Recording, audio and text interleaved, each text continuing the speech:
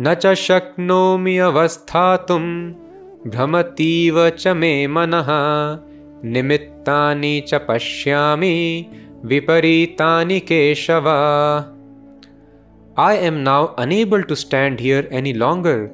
I am forgetting myself and my mind is reeling. I foresee only evil, O killer of the Keshi demon. Another very significant word used here is Viparitani. Arjuna is telling Krishna, We think this war is going to give us happiness through kingdom, but I think Viparitani, the reverse is going to happen. I will come in complete distress. So, if the science of God is not taken into account, the spiritual knowledge is not taken into account, then any action which we do it will have viparitani, the reverse effect. And very clearly, we can observe this in the society around us.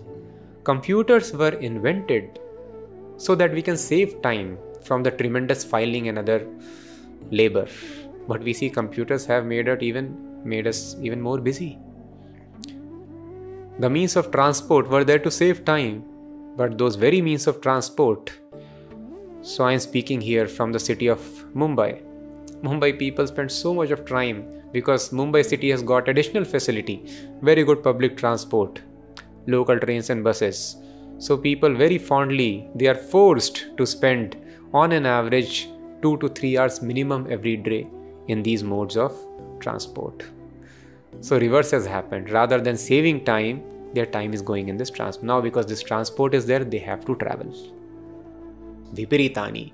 Social media was invented so that we can increase socializing, but it has made people isolated and depressed. Socializing has been cut off, reduced. Viparitani. We think in our life just a couple of years more, and then after this stage, everything would be settled. I'll be very happy. But after every couple of years, instead of expected happiness, complexities and anxieties increase in our life. So, what kind of knowledge are we cultivating in our life? Ya vidya sa vimuktaye Vedas tell. Vidya should make you liberated, should make you happy. But by this advancement of knowledge, we become more and more stressed and depressed. It means we are cultivating ignorance. Why ignorance? Because this fundamental first equation itself we have committed mistake that I am eternal spirit soul, part and parcel of God.